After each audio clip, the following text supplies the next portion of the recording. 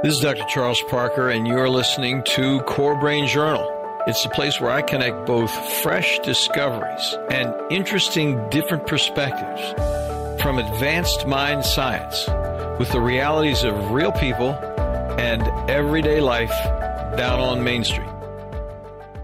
Well, welcome aboard, folks. Dr. Charles Parker here one more time at Core Brain Journal. We have an interesting guest. We've had some other people talk about resilience. It'll be in uh, Linda Graham's show notes. But today we have Linda Graham. Linda, thank you so much for joining us. I really appreciate it. Thank you for having me, Chuck. I'm glad to be here. It's going to be fun. And Linda is going to talk to us, folks, about something every single listener here can appreciate and benefit from. And she's going to be talking to us about resilience. And so, what I'm going to do is just say a quick word from our sponsor here. And then we're going to come back and we're going to formally introduce Linda to you, and we will go from there.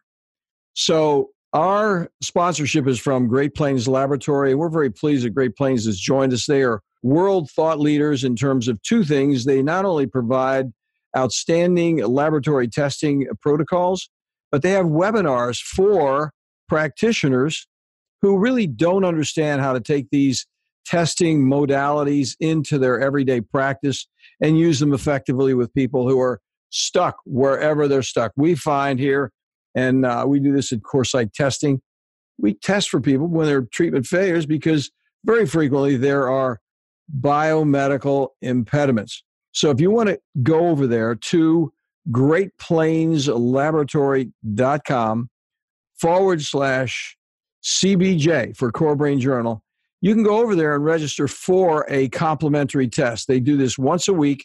They put these tests out so I think it's going to be of interest to you and give it a shot. That'll be fun.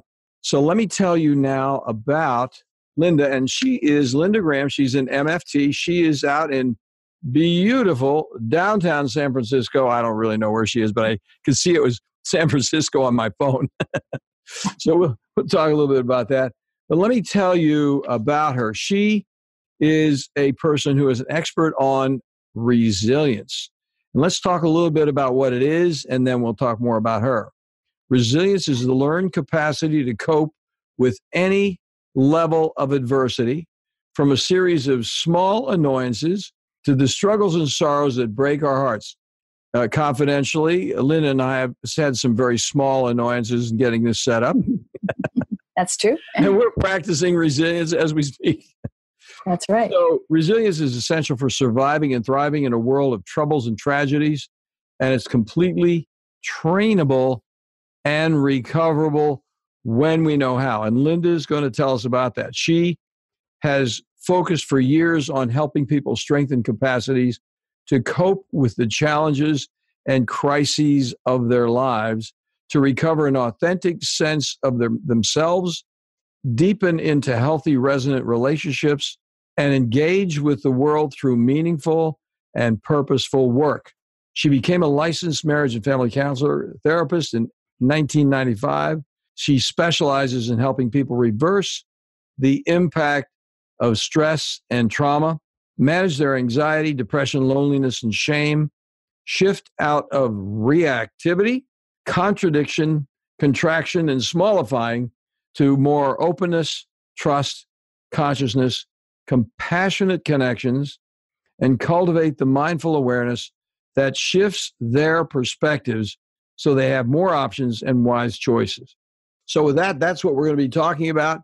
And let's get started with the basic question that we like to always ask everybody here, because I think it helps the narrative. You know, what's what's going on, Linda? How did you? First of all, you started relatively recently with a marriage family, so but then you've been interested for some time in this.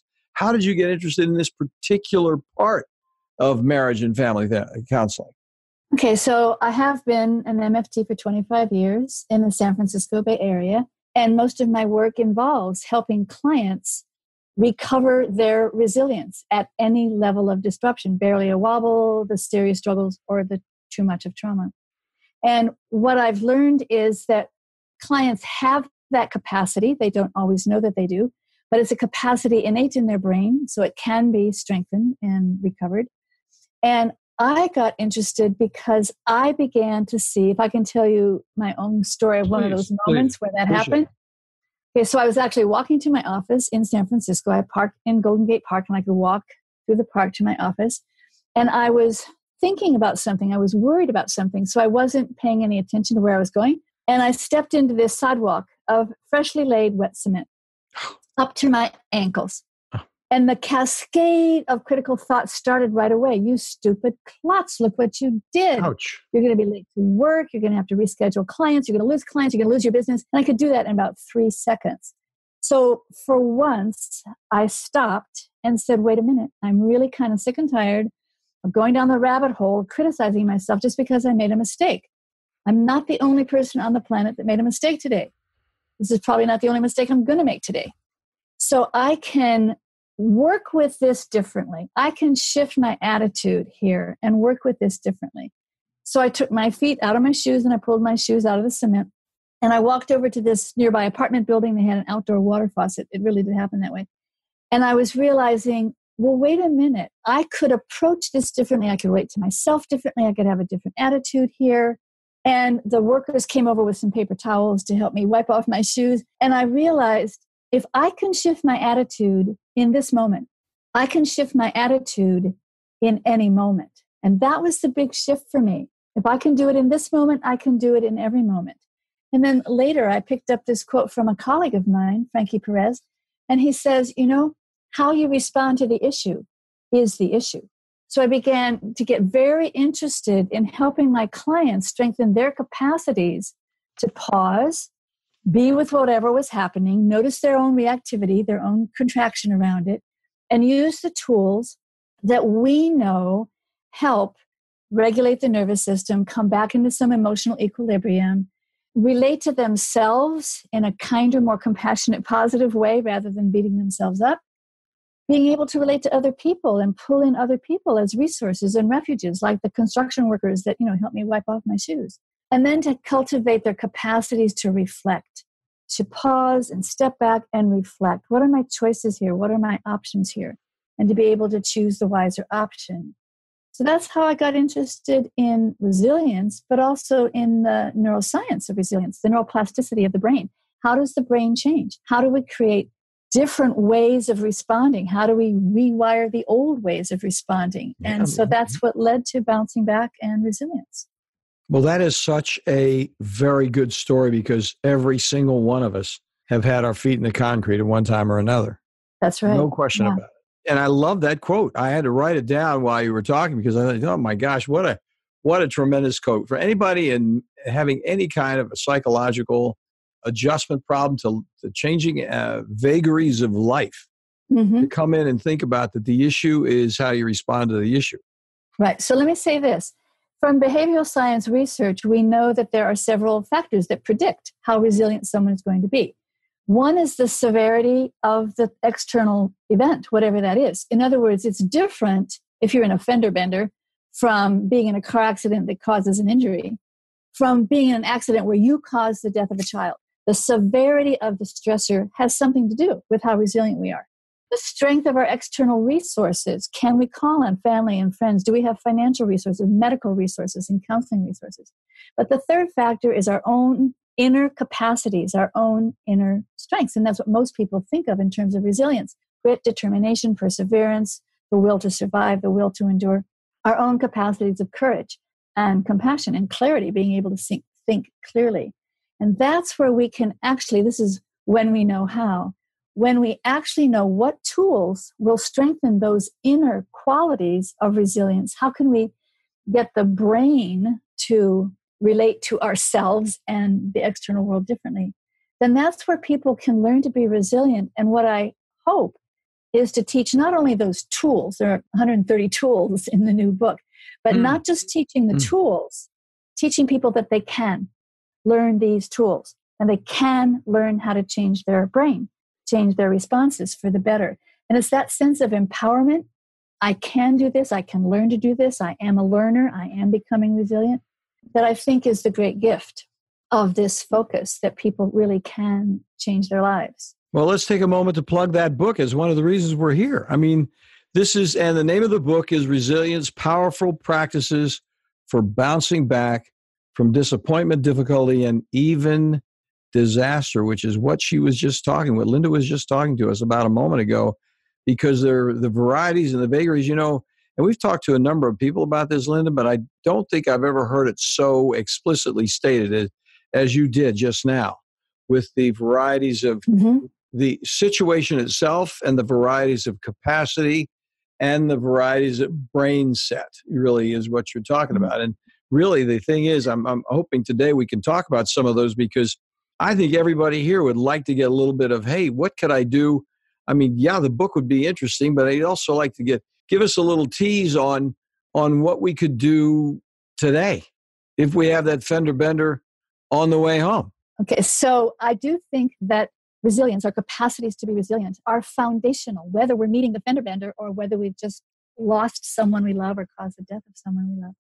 And so the capacities to be resilient, regardless of the situation, and even regardless of the level of external resourcing that we have at the moment, so, the way I organized the book, and this is what people could begin to do right away, I organized the book by somatic intelligence. There are body based tools we can use of breath and touch and movement and visualization that can work immediately mm-hmm. to restore the physiological equilibrium of the nervous system of the body brain so that we're able to bring the higher brain back online and actually deal with the situation.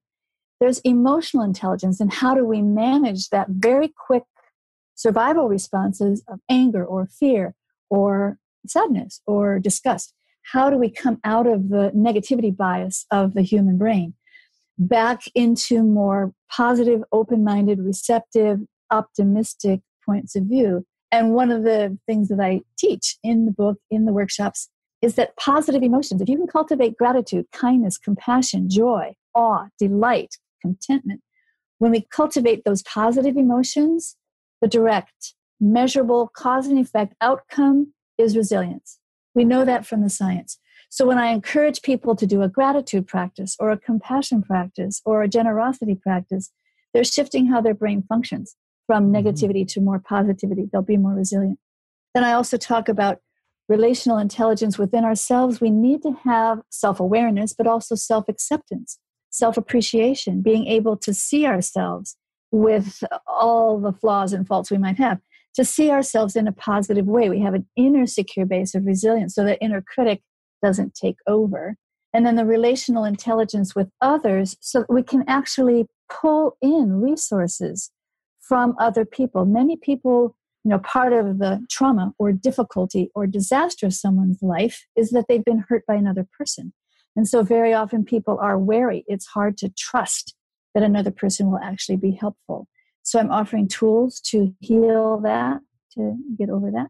And then the, the fifth is reflective intelligence. And how do we use our mindfulness, our mindful awareness, to pause and notice and name and step back and shift our perspective? So, one of the tools that I teach people right off the bat change every should to a could. Just change every should to a could because should implies obligation and, and performance and it sets you up for failure whereas the mind contracts in the face of that but the could opens us up to possibility and if people did that one self-talk practice of changing every should to a could every time they hear themselves shooting on themselves you know to change it to a could their mind will operate differently and they will be able to be more resilient so i try to offer tools what I say is the tools that I'm offering work the way the brain works, which means learning from experience, but also little and often. Small practices repeated many times over time is what will create the change in how the brain is functioning. So most of these practices can be done in 10 minutes and maybe you do that five times a day for five weeks in a row but there's small practices that you can when they're repeated over time will actually change how the brain is functioning you know, I can think of so many people that could be helped with this because it's so practical. I'm, you know, one of my favorite words, and everybody here that listens to me on a regular basis knows that I love the word utilitarian. mm-hmm, and, mm-hmm. and you are really laying it right out on the table with some very useful utilitarian concepts and actual practices. Right, because I want people to learn ways to be resilient, more resilient, in ways that are safe and efficient and effective.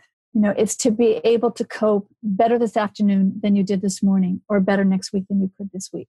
Well, now, while we're talking about your book, let's take a moment. i am going to ask you a question in a moment that I want to come back to, which is uh, not to put you on the spot, but a question I'm going to ask you in a moment is is about where you've experienced difficulties as a therapist and uh, with people in that regard. But let's let's hit the workshop real quickly. You alluded to it quickly, and in the material that I got here, I didn't quite see that, and I and I think it'd be good for us to talk about that. Is it a local San Francisco only workshop? Do you do a virtual workshop? How does how does all that work? Okay.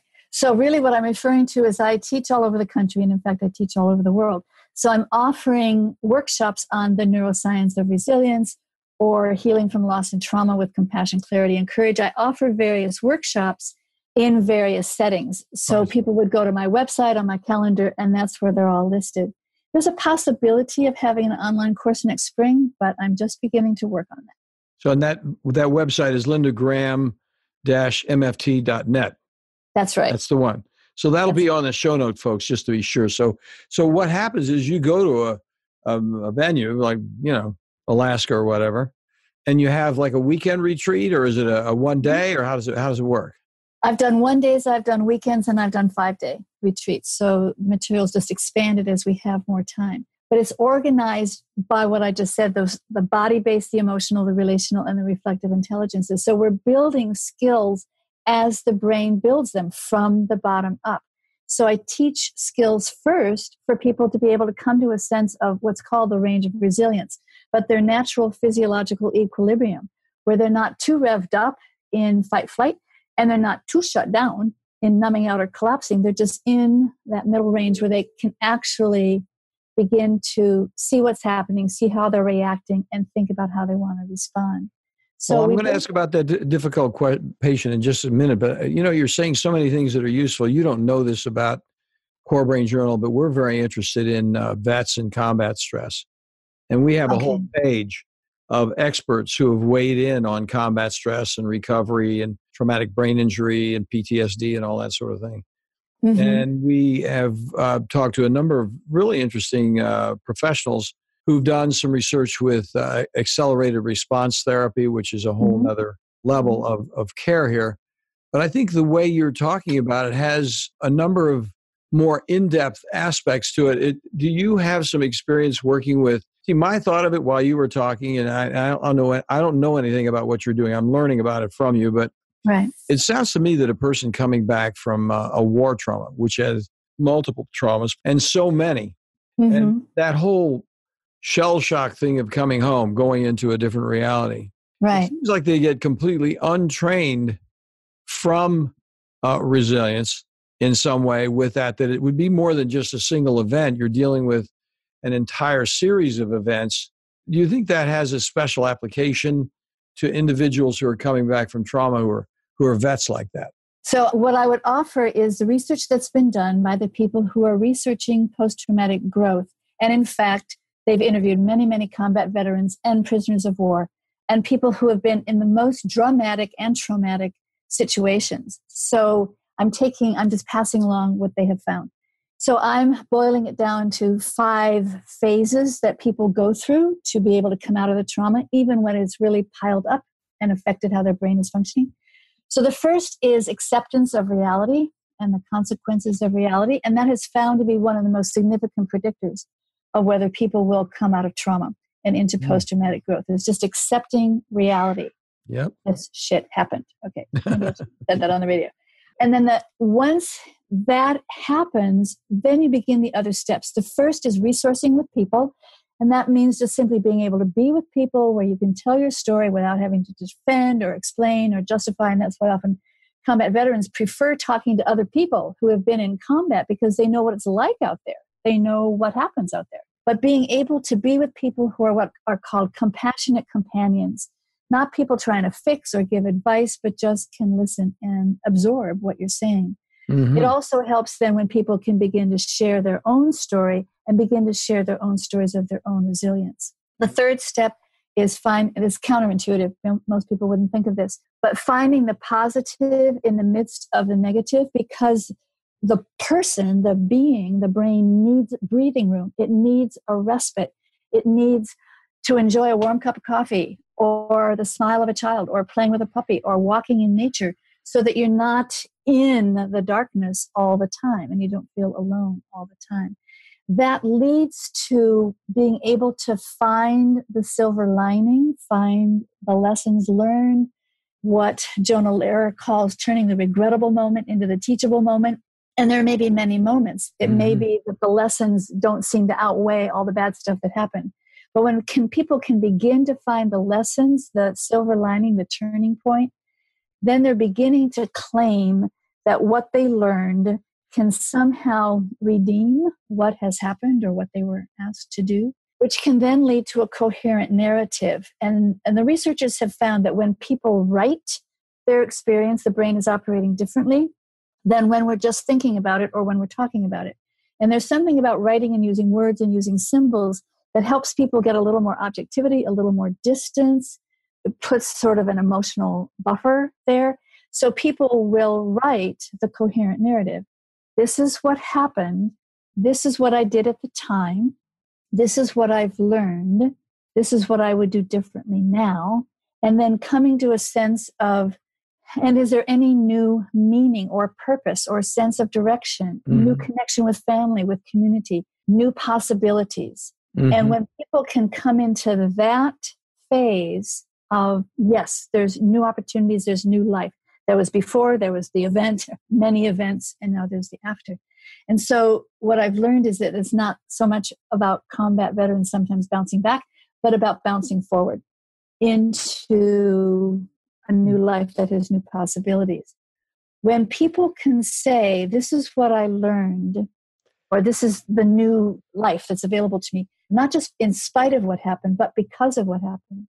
Not just in spite of, but because it hadn't happened, my life would not have gone in this direction. And to be able to find the opening, the positive, the meaning of that.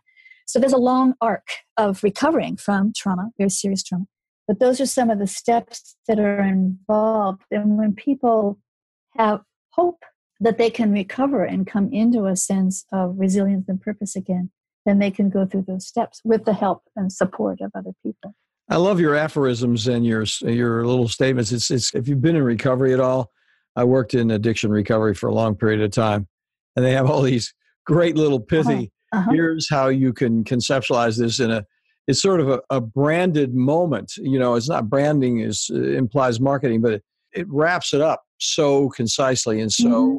effectively. You do a great job of that. You know, that whole idea of the forward leap as opposed to just coming back. You know, where can you where are you going to go right. next? In that there are a lot of pith quotes in my book and on the website because there are many many people who have said many many wise things about resilience, and we can get support even familiarizing ourselves with those words of wisdom. I'm glad you said that because I mean I'm totally a quote nut. I confess it. I if you get over in a core brain journal, you see I'm quoting everybody over there, and I because I think there's so many little pithy aphorisms that completely change your point mm-hmm. of view if you actually reconceptualize what they say and what the context of your life is at that moment. Here's the quote that sort of summarizes that. It's from James Lowell. Mishaps are like knives that cut us or serve us as we grasp them by the blade or by the handle. Wow. Whew. Ah, that's heavy. Got to mm-hmm. write that one mm-hmm. I can see the grasping going on out there. Yes. Oh my mm-hmm. gosh. Well, listen, here's the question I'm going to ask you. It's probably going to sound a little mundane, but I think it's really good to, in a way, personalize your, your experience with uh, individuals. And the question I want to ask you about is you are such a well educated, pithy person, if you forgive me for saying that, but I mean, you're, you're on it very well. I just love the quotes and the mm-hmm. whole thing. But the question that I'm going to ask you, we're going to take a break here in a second, but the thing is, I think it's always useful to see what are some of the most difficult and challenging patients that you've had, maybe one or two examples that you yourself have learned from in the process where a person has come into something and you're like, I'm shocked about that. And then we're able to like reconfigure the way you were approaching it because then people can get a little bit of a grasp of that recovery process from a uh, from an example point of view. So, folks, we'll be back in just a moment. We'll see what what's going to happen with what, what Linda will tell us about that question. Back in just a moment. Today, the world of mind science, psychiatry, and mental health is rapidly changing with innovative, comprehensive testing that takes both patients and practitioners into a new world of measured details with useful, understandable, and remarkably actionable plans. The key phrase here is cost effective. Testing also introduces a key parallel word predictability. Psychiatric treatment failure, especially after multiple medications, and our brief hospitalizations arises directly from the complexity of measurable brain body imbalances and impediments that explicitly interfere with medical outcomes and create costly difficulties with inadequately informed supplement and medication trials over time. Great Plains provides a leadership team of biomedical experts with advanced laboratory insights approved nationally both by the FDA and CLIA laboratory certifications, and is available internationally for both public and medical professions. Great Plains Laboratory is the primary laboratory we've used at CorePsych for years with excellent customer service for both patients and medical colleagues. They are on the spot, they get it every time. In addition, they provide exemplary training modules, which are webinars and conferences in an effort to broaden practice perspectives wherever you live. Do follow up on one of these complimentary test offers today at http greatplainslaboratory.com forward slash CBJ. Yeah, that's Core Brain Journal CBJ. Well, we're back, folks, with Linda Graham out there in beautiful downtown San Francisco, and she is telling us about resilience in such a useful, helpful way. And and we love the pithy quotes. We're going to try and get them, writing them down madly in the background here. We're going to do what we can to get as many of them as we can. But I mean, this is a book that you really need to take a look at. If you're a therapist, if you're a person like myself who has had their systematic process of managing themselves challenged by the adversities of life, then this book is going to be for you. So the question I wanted Linda to address, if she could, it's interesting to see where the therapists themselves had, okay, I've got this understanding, but this was a surprise for me, and here's how I dealt with it, or this was something I learned from this whole situation. Can you share any examples like that? So here's how I would answer that. We mentioned earlier the importance of mindset. And I remember early on learning from one of my consultants that you could work with a client who is in resistance. You can work with a client who's in reluctance. You can't work with a client who's in refusal. The client has to buy into change as possible. So I found the most difficult patient is really the most difficult mindset. And it's the mindset that's called the drama triangle. And it's when people are in a mindset of being the victim, looking for a rescuer, blaming people for being the persecutor. And when people are caught in that victim mindset, then they feel helpless. They don't take action on their own behalf. And everything becomes evidence that you see this is never going to get any better. And so it's challenging that mindset because people need to feel empowered and claim their own empowerment if they're going to recover their resilience. So I just begin to work with where that mindset came from, but also why are they hanging on to it? what purpose yeah. does it serve? Because the only way out of that drama triangle is to get out of that mindset to not be a victim, not be a rescuer or look for rescuers, not be a persecutor or look for persecutors, but to simply step out of that triangle. So I look for very, very small moments when they actually made a decision, took action on their own behalf, pushed back in some way. And even if it was a small example, maybe you know they're challenging someone that made a mistake at the bank or something. Mm-hmm. But if you move into that place of empowerment, let's grab that and make it grow, make it grow, make it grow until it's a new platform that the person can stand on within. They need some sense of empowerment. So then I will use the tools. Okay, so say they're still in their victim stance. Are they willing to try one of the many, many tools that I will teach them? And if they can experience their sense of self shifting or their relationship to the event shifting, if they can experience something budging, then they have a sense of success and maybe I can become resilient. Mm-hmm. And I just keep teaching those tools little by little by little. hand on the heart, pulling in your circle of support, changing every should to a could. There are many tools. If they can make a little bit of difference, they begin to get the experience that they could make a lot of difference. Now, you used a word there. I want to make sure I got it down because I thought that was such an important word and such an evocative word. And that was something, the, the phrase you used there, the person who just plain old resistant, was that the word you were saying? Resistant, reluctant, and refusing. Okay, okay. Yeah. I had an adolescent come by this, uh, this afternoon and I was doing a, a medical evaluation. I'm not doing psychotherapy. I'm just trying to make a connection with this guy. He's 17 years old. He's almost 18 years old. And he's eye rolling, huffing and puffing, and, you know, just squirming around over the whole thing. And the thing is, it almost winds up becoming kind of a family therapy situation because his father is being completely disrespectful to the kid over there, you know, saying all this stuff. So I'm like trying to connect with the kid to pull him out of a hole while the father's banging him over the head with a shovel while I'm trying to pull him out. But just this little comment that you made is interesting. I think in retrospect, what I'm thinking about is I probably, because I was so busy in just trying to get the job done and having mm-hmm. such a hard time communicating, I didn't think about this at the time. I think if I had to do all over again, I'd boot the father out. That's really so, what I should have done. So, what we know is the brain needs to feel safe to do its learning and changing. Now, coming back to our combat veterans, I've learned sometimes it's just not wise or possible for a combat veteran to feel safe. They can feel safer.